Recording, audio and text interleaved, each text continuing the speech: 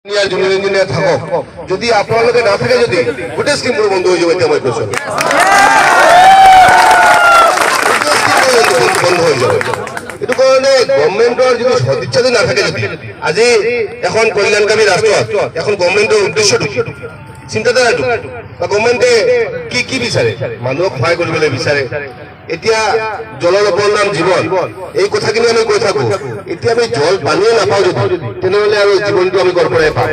বেশ কিছুদিন থেকে স্থায়ী নিযুক্তির দাবিতে রাজ্যের জলমিত্রদের আন্দোলন চলছে। বাদ নেই বরাকও।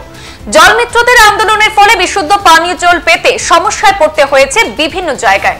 আজ সেই আন্দোলনে গুয়াহাটিতে রাজ্যের জলমিত্ররা অবস্থান ধর্মঘট পালন করে। তাদের সেই আন্দোলনে আজ সামিল হলেন বরাকের বিধায়করাও।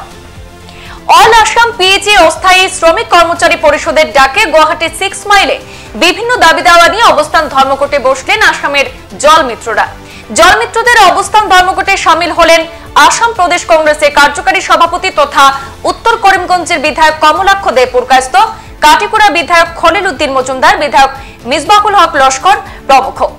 অন্যদিকে বিধায়ক কমলাক্ষ দে পুরকাস্ত তাদেরকে আশ্বাস দিয়েছেন যে তিনি বিধানসভায় জলমিত্রদের কথা করবেন। পাশাপাশি অবস্থান ধর্মঘটে প্রাসঙ্গিক বক্তব্য উপস্থাপন করেন তিনি। জলমিত্রদের কর্মবিরতিতে সমস্ত রাজ্যে চলছে পানীয় জলের হাহাকার। জলমিত্রদের পক্ষ থেকে বাপন নমসূত্র জানান যে, তাদের ন্যায্য পাওনার জন্য সরকারকে এক মাস পূর্বে স্মারকপত্র দিয়ে গণতান্ত্রিকভাবে আন্দোলন করছেন। এ মর্মে পিএইচি অফিস থেকে বিভিন্নভাবে জলমিত্রদেরকে প্রেসার ক্রিয়েট করা হচ্ছে যে, জল সরবরাহ করার জন্য। কিন্তু নাছরবান্দা জলমিত্র পরিষদকে মেনটেনেন্স না পাওয়া পর্যন্ত আন্দোলন অব্যাহত থাকবে বলে জানিয়ে দিয়েছেন জলমিত্র পরিষদের সম্পাদক বাপন নমসূত্র।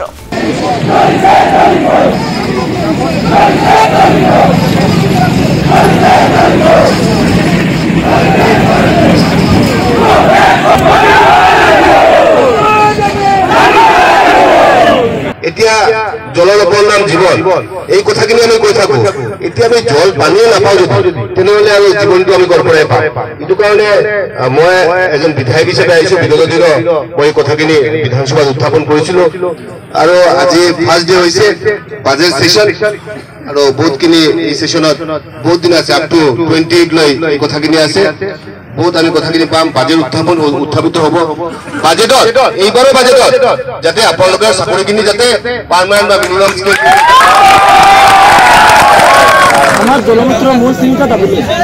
আমার সরকারের চোদ্দ হাজার তেইশত মুখ্যমন্ত্রী স্মারকর দিছিল তিনটা দাবি দাবি তিনটার মধ্যে প্রথম দাবিটো হল এংগেজমেন্ট এটা মন নালাগে আমার ইউএনএফি ডিপার্টমেন্টের ফালৰ পৰা এংগেজমেন্ট দি কৈছে আমি দহ পোন্ধৰ বছৰ যাবত পাব্লিক হেল্থত কাম কৰা মানুহ দহ পোন্ধৰ বছৰ যাবত পাব্লিক হেল্থত ভলণ্টিয়াৰ হিচাপে কাম কৰা মানুহ গতিকে আমাৰ পি এইচ বিভাগৰ পৰা আমাৰ নিযুক্তি লাগে আমাৰ পি এল পৰা মুক্তি দিয়ক আৰু আমাৰ লেবাৰ হক অনুযায়ী আঠাৰ হাজাৰ টকা দৰমহা দিবই লাগিব এঘাৰ হাজাৰ হাই ভল্টেজত আমাৰ এনেকৈ জন্মিত দুই তিনিজন মৰি গৈছে।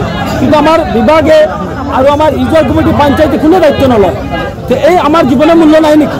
আমাৰ জীৱ- জীৱনৰ নিৰাপত্তা নাই দুৰ্ঘটনা বীমা নাই। এঘাৰ হাজাৰ হাই ভল্টেজৰ মটৰ চলা চলাই চলাৰ কাৰণে মানুহ দুই তিনিজন মৰি গ'ল। কিন্তু আমাৰ পি এইচ চি বিভাগে দায়িত্ব নলয় পঞ্চায়তৰ দায়িত্ব নলয়। কোনে দায়িত্ব ল'ব আমাৰ জীৱনৰ মূল্য নাই নেকি? আমাৰ জীৱনৰ নিৰাপত্তা নাই নেকি? আৰু জল জীৱন মিছন জলমিত্ৰ ব্যতীত কেতিয়া ছাকচেছ নহ'ব?